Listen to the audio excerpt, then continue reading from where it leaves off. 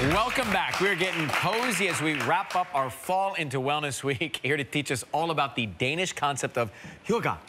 Hygge. Hygge. Hygge is Vern Yip, who is going to correct us as well. How do we actually say it?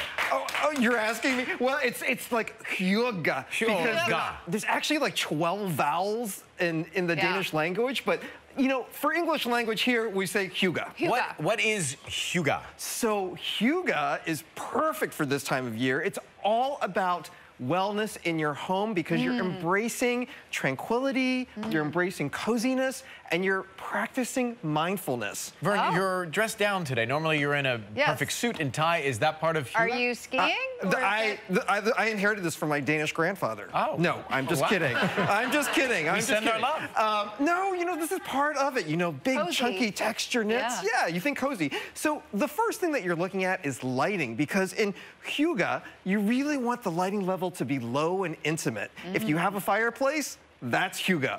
But if you don't, and so many of us don't, uh, candles are a great way to go. Now, these are the battery operated kind, but you can have the real kind. You're trying to get that lighting level down. Okay. Uh, and you see how everything is nice and neutral. Uh, the other thing is dimmers. So dimmers are such a great way uh, to get that lighting level down. They're very inexpensive. Uh, if you don't know your way around electricity, make sure you have a professional put those dimmers in. yeah, be careful. Yes, yes. Uh, and then that cord right there is a lamp, uh, the one right next to the dimmer switch.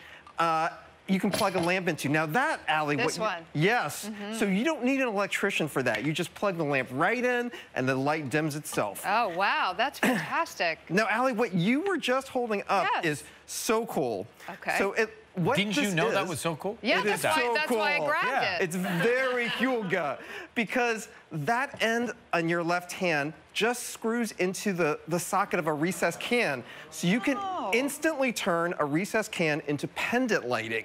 Uh, Wow. Yes. You It's get a- game changing, It Vern. it is It game is. changing. And of course, uh, the, the fairy lights or the twinkly lights, Mm-hmm. we put them out during the holidays, but you know, with Hygge, you have them out year round. oh, good. Yeah. So over here, Yes. this is sort of another principle of Hygge, which is all about embracing uh, Mother Nature. Oh, one last thing. This Yeah, light. this I want to play with. So, yes. I this is- have these, and these are you? fantastic. so it's battery powered or charge it, you recharge it? charge it You like you would a recharge it. phone. Yeah, and so what's so great about that is that, of course, you get that low-level lamp lighting, and you don't have to have a cord. You can port, you can put it around anywhere because it's portable. Yeah, and also right next to your bed at night, you just go, good night, honey, good night. I'll never be lonely again. No, you won't. Now, embracing the outdoors is a very important concept of Hygge.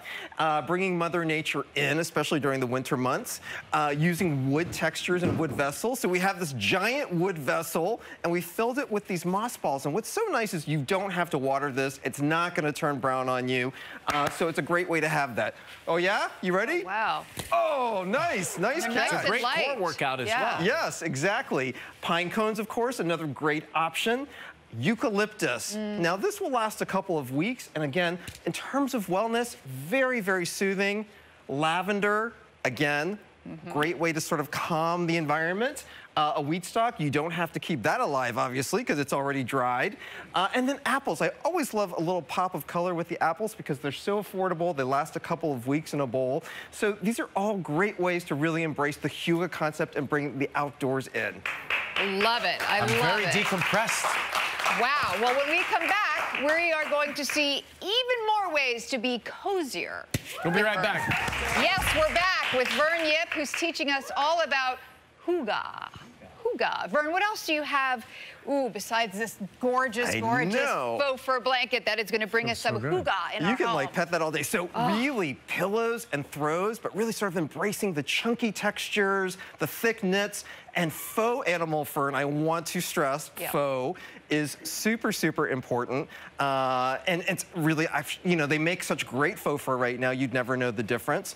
Uh, and in terms of animal prints, what you have in front of you, Ryan, that's a deer print. Oh, I And didn't recognize it. That is perfect for Hygge. So you, you're not really embracing like cheetah or leopard. I mean, it's really like these sort of neutral Woodland, deer-spotted kinda woodland animals, Woodland right? creatures, Yeah. yeah. And you can see in this chair up front, we've got all that pulled together to show you how you can so easily put that uh, put that together in your own home. Okay, very good. Um, and then when it comes to sort of displaying things, you want to keep it a little more pared down, a little simple. So I love these acrylic boxes. These are actually real leaves. They're from Central Park. I took them this morning. I embraced Hygge and went out and got my leaves. Wow. Uh, but just keeping them simple and the clear box isn't so much of a visual distraction. So you can be, uh, you know, talking to the person that you're with or focused on being mindful instead of being distracted by a lot is of visuals. inexpensive and simple, so simple. Yeah. Yeah, hey, the leaves were free. When you were out there in the park, Jeff Goldblum listened to 100 shows before. You guys have had productive mornings. Very productive. Yes, I got two little kids. I'm up at like five. um, and then, of course, storage. Storage is so important because you don't want stuff like everywhere. You want it Yeah. cluttered, but you want to embrace it in a natural way. So things that are lidded, uh, rattan and baskets. Uh, so you can put your throws in here, you can hide things, and you're not looking at the mess on the top. What do you put in the one that says tranquility? Uh, anything that's going to make you tranquil, and I'll let you decide what that, what that would be. But you, you just said you have two kids, so a lot of toys and stuff must go in those baskets, right? Yeah, I mean- Toys are chaos to me. If it were a little bigger, I'd stuff myself in there just to get away. But yeah. And listen, it's great to see you, Vern. For all these tips and more, visit our website. Don't forget to check out Vern's book, Vacation at Home Everywhere. Books are sold. We'll be right back. So we're going to open up the inbox after Yes. this. Good to see you, pal. Thank you.